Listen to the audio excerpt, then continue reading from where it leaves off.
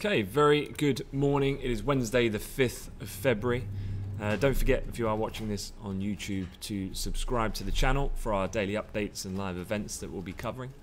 Uh, but getting straight into what we're looking at this morning, a uh, quick update on coronavirus, of course, but we're going to have a look at Tesla.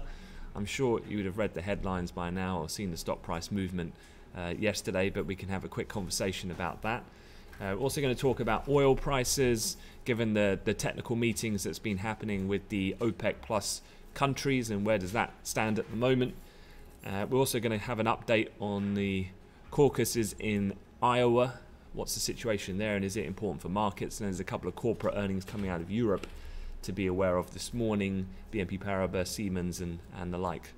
Starting off though, before I go into, into the graphics side of me at the moment, let's just have a look at the overall sentiment on charts as we reside this morning. And the Dow finished up about 400 points yesterday. So uh, the impact or fears, if you like, of the, the coronavirus seem uh, quite a distant memory in the rearview mirror nowadays. Uh, albeit we continue to uh, remain somewhat vigilant and monitor the situation. But for the moment, uh, the fact that it seems to be still somewhat contained to the borders of mainland China uh, seems to have downplayed the situation for the moment, at least. Uh, and the fact that it hasn't turned into a full pandemic as yet as being welcomed by the market. So, elsewhere, uh, just having a look at things, oil prices have been just steadying out overnight. Uh, the ellipse that I've got on my chart here signifies the release of the API crude oil inventories, of which we had last night, uh, which I will show you the numbers shortly. Uh, but that was when we defined the kind of low point. We saw a bit of a pickup overnight in Asia um, and probably a move in sympathy because Asian equities actually saw their first back to back rise that we've had since the virus outbreak begun about two weeks ago. So, Asian markets continuing to pare back, Chinese markets specifically, from those heavy losses that were seen on the reopening of trade and that big gap down we had at the beginning of the week. So, in tandem, a little bit of a relief for oil prices, but that doesn't detract from the overall trend, of course, in oil, which, as you can see here over the last couple of days, has been lower. Um, on a daily continuation, this was that chart we were looking at um, yesterday. So, if I quickly just remove one of my camera feeds here so you can actually see the full chart. Uh, so this encapsulates then much more of the bigger picture, looking all the way back to the end of 2018. So really uh, a good two-year snapshot of price movement in oil to give us the kind of extremities of the highs and lows of the range from trading north of 75 to down to 42 and where we are at the moment. Now we talked about this a little bit yesterday, but you can see the various uh, annotations on this chart. Uh, and you can see the impact that coronavirus has had on the demand, which we've discussed many times. The question mark, of course, with oil prices really from here is is what OPEC Plus are saying enough to mitigate this downturn and cause prices to go back up? Now, this time yesterday when we were talking, uh, prices looked like they were rebounding slightly as some of the rumors were swirling about the potential 500,000 up to 900,000 barrel per day cut, but seemingly um, this morning, according to the press, Russia and Saudi, the two main players within that pact, uh, at loggerheads and what's the best step forward. Obviously, for Saudi Arabia, if you think about it from a fundamental perspective, they've got a long term plan to implement in their Vision 2030, which requires them to diversify their economy uh, and their revenue streams, which means that they need a high degree of income because their kind of break even point, if you like, for their for their government spending has increased. So they would like prices definitely much further north, whereas Russia doesn't have quite the same uh, kind of pain threshold on a price point. Um, and so they, the latter, being a little bit more reluctant to just pull the trigger and cut supply just yet. So we continue to, to monitor that uh, quite closely. Um, otherwise, the other assets, uh, gold up a little, uh, recovering from some losses that were seen late yesterday, uh, just after we had that big push up on Wall Street. Obviously, a, a pretty firm finish across the major indices. And if I was looking at uh, T notes, pretty similar story. Uh, I wouldn't say the gold and the T note move being up 10 bucks and 6 ticks respectively is a is a form of the kind of risk appetite for this morning. I just think it's a bit of a natural retracement from some of the move uh, with some profit taking on the shorts yesterday in gold uh, and a 10 year.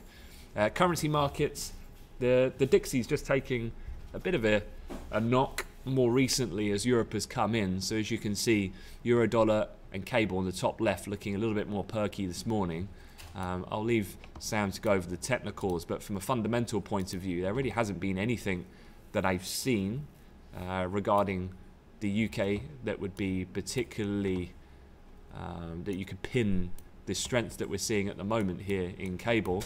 Uh, just having a quick look though on this cable chart, just in regard to the highs that we were seeing yesterday. So we're just testing that at the moment, and you can see there's some previous other points of, you know, just quite obvious from support and resistance point of view uh, where we are at the moment. So uh, be interested to see how we play out, and uh, just quite interested to see as well. As I said, Sam's going to talk over this more, but let's have a look at that fib retracement of where we are at the moment, and we're right on the 38.2 here which was yesterday's high. So pretty significant point here. If cable can get above that, it might well open up a little bit further more upside. Uh, but we're just seeing around the first test of that right now. Uh, that fib retracement from the high that we had uh, at the the day of Brexit, but then the gap down as the red lines were drawn and that big sell-off that we had on Monday and the prevailing low that was seen yesterday uh, to where we are right now on that reversal. So worth keeping an eye on from a technical point of view. Um, all right, well, let's get stuck into some headlines. Uh, and then the guys can go over the technicals. But coronavirus, not going to spend too much time on this. I think we're all aware now of the current way of which markets, at least, are looking at this situation. And so, despite confirmed cases now heading to 25,000 and just shy of 500 total deaths, uh, the market not being uh, spooked by this, and I'd say it's kind of dropping away a little bit in the, the macro order of, of driving forces at the moment. The one thing, of course, that most people were talking about yesterday was this. I'm sure you would have seen uh, the tweets and, uh, and people banding around images of a certain company's share price, and that was Tesla. Uh, so Tesla has had a monumental uh, year so far, and let's not forget we're only in the beginning of February. By the time the market closed yesterday, the stock, even though it saw a big fall right before the close, the stock is still up 112% on the year. And, and if we actually have a look at this, so, so let me just be clear about this. We're, we've had one month of the year, and the stock is up 112%. this isn't like year end, this is one month in. Um, so given what we've seen here, and if you have a look at this chart, this overlays uh, five different uh, auto manufacturers. Uh, the other four you'll be very familiar with, of course, Ford, General Motors, Toyota, who's the big monster out there in terms of the actual size and market cap, uh, and then Volkswagen. But if you actually look at Tesla, which is the black line at the bottom, and what January has added to the company, um, to put this into some other terms, uh, their their market value now is greater than all four of those, um, or all three of these other companies put together. That being General Motors, uh, Volkswagen, and Fiat, uh, if you were putting it that way. So, yeah, just quite incredible, really. And, and, and to maybe look at it in a different way, this is what the stock price looks like over the last th three months. And it's just uh, quite incredible. If you look at it year to date, over the course of the last month, then, you know, we were trading at 450. Uh, we did get up uh, kind of around 950 yesterday before, just before the close. You might have seen this happened uh, a move that knocked 100 billion off their um, or 100 um, dollars off their share price at that point, and it came about 10 minutes before the close. Uh, reasoning behind that, there isn't any, but this is the nature of when a stock rise rises as fast as it has done. What are people uh, attributing this move to? Well, I would say it's predominantly a short squeeze.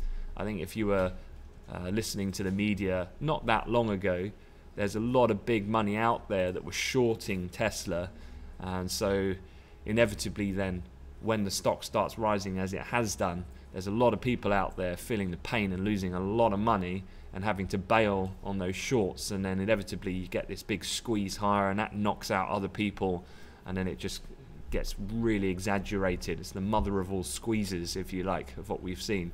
Uh, from a more uh, technical point of view, I guess you know record revenue numbers by the company and recent earnings.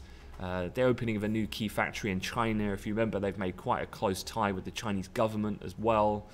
Uh, and then a degree, I guess, of a little bit of the fear of missing out, people just jumping on, wanting to ride it up, a little bit of the, the Bitcoin mentality, I'm sure, uh, also coming in uh, and just leading to this, this movement. Um, overall, what do I think? I mean, look, I'm not a single stock picker by any means, but um, the way of which this share price has risen would indicate then if history is any guide on other similar stock price movements that you generally see when a stock has risen that quickly 40% almost in two days it's got to come back at some point and when it does it's going to be fairly violent albeit uh, the shares will still probably remain highly elevated and for the year uh, a, a, move of this magnitude of 40%, you would say, is probably reaching a top. And psychologically, obviously, we've got close to a thousand bucks. Um, you probably would have seen on Twitter, I had a text from my brother last night reminding me that he bought Tesla at $250. He just wanted to rub my, my, my nose in it. Uh, but, but and, and then just to boot, I told him, you, you should get rid of that. And he got rid of it right at the very top. What a jammy guy he is. But hey, that's just the way the cookie crumbles, I guess. Uh, but moving on, away from Tesla. Uh, so for oil prices, uh, as I said, I've, I've, really covered this story with that quick look at the crude chart already. Uh, we did see a, a, moderate rebound yesterday, but I think it's quite telling that prices have come back quite a bit from those highs yesterday. And that to me is the market um, kind of testing the, the, the will, if you like, of OPEC Plus and, and trying to call their bluff. Because, you know, as I've mentioned before, the usual staggered approach of uh, of what they do is they try to verbally intervene, intonate towards taking some kind of action before they actually do. And I think the market sees right through that these days. And so, if we have a, another test and a push down, and particularly we've got the oil inventories coming out later, and if they're bearish, I think we do see another down day at the moment. Uh, and that's just really, I think, speculators going to push the price, knowing that we can open the trapdoor somewhat if we can break through the previous low seen a day or so ago. Uh, and really test the resolve of, of, OPEC, who I don't think are really going to step into the market and, and, aggressively cut supply unless we get down to around the 45 region. Um, we did have the API crude oil inventories last night, uh, and this kind of sets the stall then for what to expect from the DOEs. Uh, the crude number was bearish in the sense that the build was bigger than it anticipated 4.18 million against the expected 3 cushing a build just shy of a million gasoline just shy of 2 million also slightly larger than expected distillates was a draw of 1.78 million. That data of course coming out this afternoon at 3.30 london time. Um, we did have the results come out. Uh, i believe his name is is, is pronounced Buttigieg uh, leads in Iowa caucuses as delayed results unfold. You remember there was those technical issues yesterday getting the results out, uh, but this this chap has basically come out of nowhere uh, and he's beating off all of the main contenders. Uh, Bernie Sanders is a close second. Uh, Elizabeth Warren, then Joe Biden, uh, lagged in fourth place. I've not really read too much about this Buttigieg gentleman, other than uh, he's pretty much the antichrist of Trump, uh, being the fact that he's a homosexual.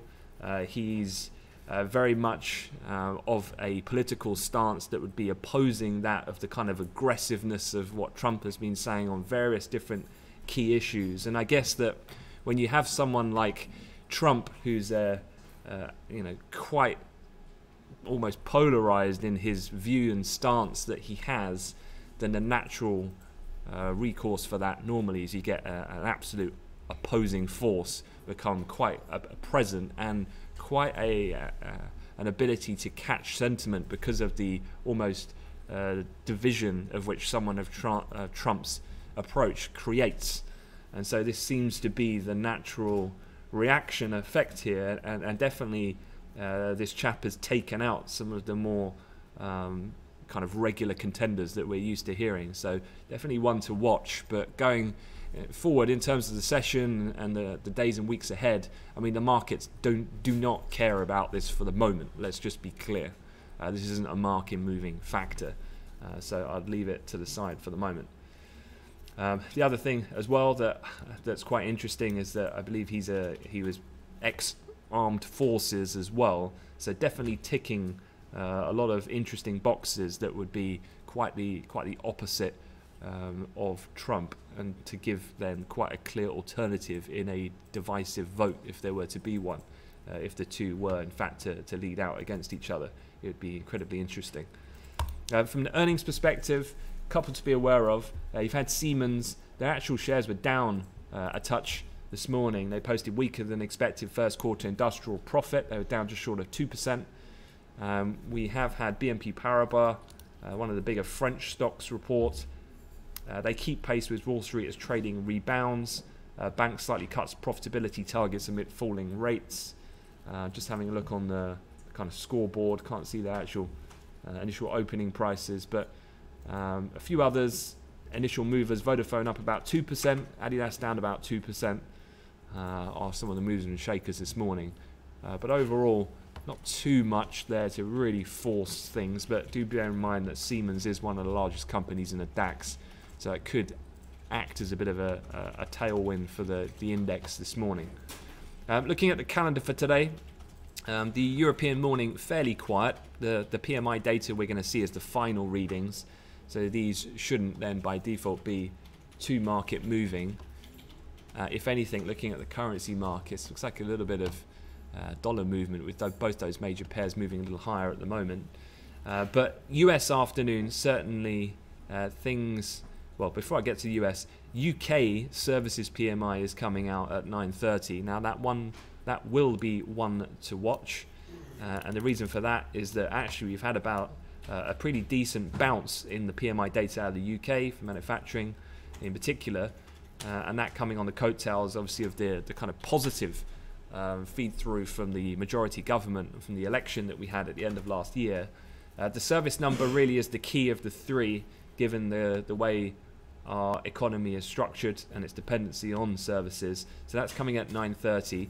Uh, markets are expecting basically an unchanged reading from previous, but we do have a range of 52.4 to 53.5. And as per usual, remember what we saw, um, I think it was some, uh, the head of the Bank of England, there was some very um, suspect price movement coming just before the, uh, the announcement of their unusual split that they had on their decision to hold rates. I'd just be mindful of keeping an eye on sterling going into this data point if we see any other uh, kind of erratic price movement going into it. But bear in mind, the pound has already been fairly bid this morning. So if we did get a strong number, perhaps that is enough to help us break that technical point of resistance, which you can see the market is respecting at the moment. So that fib level with yesterday's high uh, is just holding proceedings at the moment until that number comes out, uh, I would imagine. Having a look then into the US session, we've got a couple of key economic data points actually, really three. Uh, ADP national employment, so that's the first one up. So this often acts as the precursor, of course, for non-farm payrolls. Uh, so this is private payrolls, and the report is based on actual payroll data of about 24 million employees. So it's seen as a fairly uh, weighty uh, precursor for, for Friday. And the last number that came out was 202,000. That was the most since April in the last reading that we had, and it was way above market expectations. Uh, for today, the headline is expected to pull back though to around 156 from, from 202. But then later we get the ISM non-manufacturing. Remember what we had beginning of the week. The manufacturing sector was a great number, smashing estimates and putting the first expansion of the manufacturing sector in six months. So the non-manufacturing number is going to be closely watched. That's expected to remain unchanged though at 55. And this is what that pattern of the last 12 readings looks like at the moment. Uh, I'm sure you probably would have caught some of the State of Union address, the one the President gives on an annual basis. He was very much talking up the economy and how you know as a validation of his policies and the work that he's done since he came into the White House. Um, obviously, didn't talk about the fact that manufacturing activity had slowed remarkably over the course of um, the last year or so with the trade war with China. However, these recent data points, particularly at manufacturing on Monday, and it'll be interested to see if these other two can follow suit, have rebounded sharply. And so, if that is the case, well, all the more valid he can be in kind of banging that drum for his political agenda. Uh, from a corporate earnings perspective, a few things today pre market. Merck, General Motors, aftermarket, one of the bigger firms would be Qualcomm. Uh, those kind of more social media sensitive type names like Twitter, Pinterest, uh, and one of the recent IPOs, Uber, all coming out tomorrow. All right, that is it from me. Going to hand you over to Sam. So, going to come off the mic. Let me just switch a few things over. He's heading over now. Here he comes.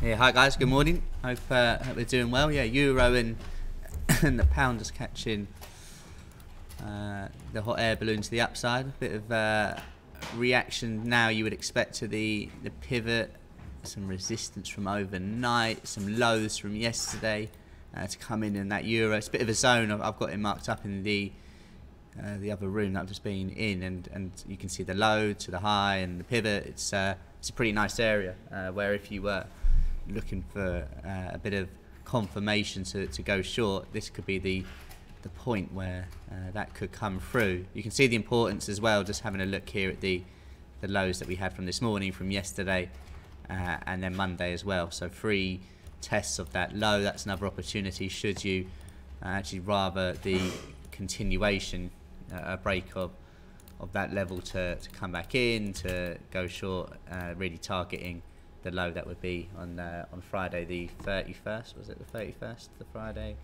Uh, yes, it was. Yeah. So that could be a little opportunity there. But you know, let's not you know higher that the uh, the dollar is weak today. So if we get a break of this level, uh, I think the the obvious targets would be towards that pivot point. Where I know a couple of guys were, were short yesterday from here in the morning, and that was obviously a a decent trade back down to towards that S1.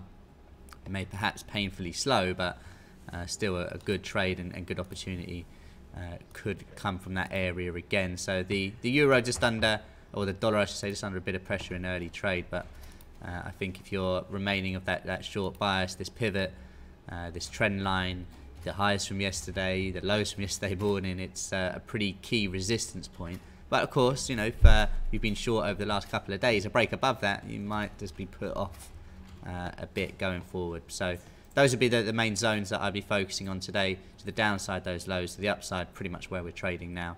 Uh, and then towards the R1, yesterday's highs uh, in that mix as well. Having a look over the pound, yes, pushing higher. Yes, you've got the data out in, in a moment. And uh, actually, against quite a few uh, of the, the crosses, the pound has broken some nice levels where uh, it could well be a bit of a retracement to come in. It's just whether you really want to take that risk on before uh, the data point uh, at half nine or not. But you can see the importance of this level here that Ant was talking about uh, earlier on. So yeah, keep a watch.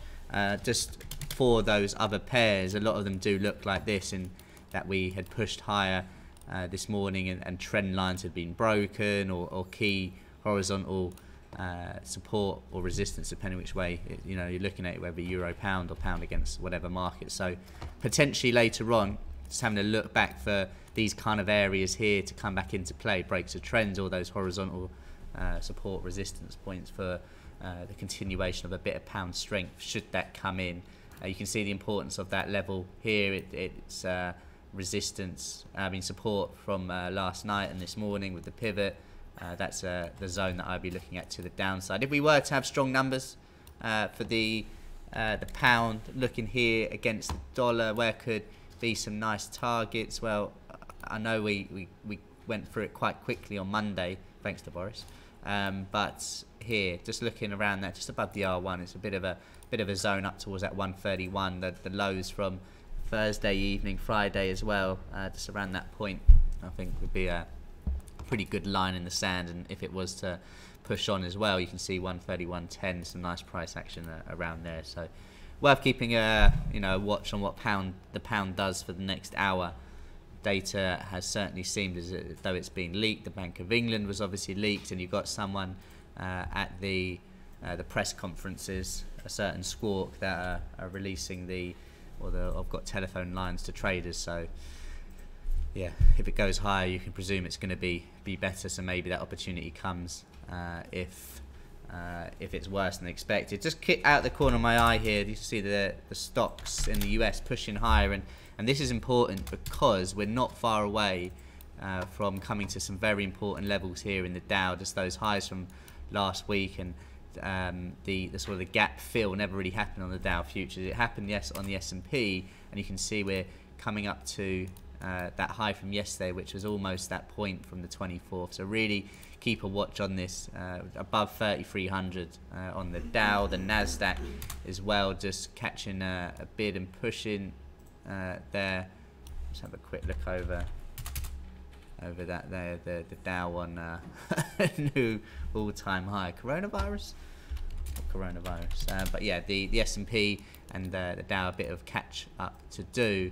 Uh, but worth just keeping an eye on, on how this reacts certainly to the S&P 3305. Uh, in terms of levels two, perhaps get back in. Should it retrace? Because obviously, you don't really want to go chasing this market for now. Uh, but you can see we broke above this trend, came back to retest it. That's almost what I want to see from the pound later on. Uh, but for the, the S&P, three points until you get to that high. Uh, if that is to continue, I would say you, have got to prefer the short in, in gold. And you know whether you're already in this here. I mean, what a, a level pullback from yesterday was the low before we broke through. 1565, 66. I know uh, a couple of people were looking at that trade as well. If this picks up and S&P and equities go higher, well, gold has to come lower, uh, which it is doing so now. It's not one where you jump in right now, though, because of course you would like that that stop to be above that pivot. So if you're going in, the next opportunities are, of course, on maybe some more confirmation around that area, or a break of this key trend. And you can see you've got your free test 15 minute it'll appear on the, the 60 minute as well where it would look to come in a previous high of the day so it's a really key level around 1560 where the next opportunity could come for gold if that is to break through some really nice uh, trading yesterday in gold it has to be said um, where trend lines had broken you got them retested uh, previous levels of support came back into play to act as resistance for that final push lower uh, and you know, I have to say this market over this this year has been incredibly resilient to any push higher in equities. But if you know the coronavirus etc. can't kill stocks, well, gold you would imagine has to perhaps come down a bit, especially if some US data starts to improve. I think actually non-farm payrolls on Friday could be slightly interesting. Anyway, back to the market at play. A break of that trend interests me key levels to the upside around that 1568 level, previous low of the day, basically S1 from yesterday uh, as well. If this trend line goes, I don't see much stopping it really. Obviously, you've got other targets to go into play, but that low that we had from yesterday uh, as well, and you can see why that's important, was also the low from the 21st as well. So, one to keep an eye on, especially if stocks can push higher. Quick look over at the Aussie. Uh, shout out to a couple people in uh, in stage two that took this trade, and we were saying when we were eyeing it up, it was just like, is it actually too easy this trade? they got the 50% fib, you got the R1, you got the previous high of the range that we couldn't get out of one, two, three, four, five times, came back and. Well, what a trade indeed. And it's now on the, the high of the day thanks to a bit of dollar weakness as well, thanks to stocks pushing higher. Have we seen the low for the Aussie for the short term? There'll be arguments for yes, but of course, if you do believe that this market uh, still has some way to go to the downside, that the bushfire impact has not been completely priced in, there's you know some decent levels. Let me just get rid of this fib here to you know hurdle, should we say that it's got to get through uh, to confirm a push higher. You know you could argue up towards that 68.36 level could be a nice place to get back in uh, for this trade uh, on that sort of break that we had on the, the head and shoulders area. I know it was a false break, but once we did come back down, uh, you can see it was a pretty clean move. So keeping a, a, watch on there, that would also be, if I was long, one of my targets after we get through maybe the 68 handle. Uh, the 10th of December low. So Aussie, nice couple of days, looks to be continuing for now. The dollar weakness helping euro push higher, but that's a key zone for sure around that pivot. Uh, the pound data coming out in less than an hour. Everything to do with the pound seems to be leaked at the moment, so just be careful. Stocks pushing higher will help bring gold back lower, you would imagine. Hope everyone has a, a good trading day. Any questions, please do let us know. Uh, could be another interesting one.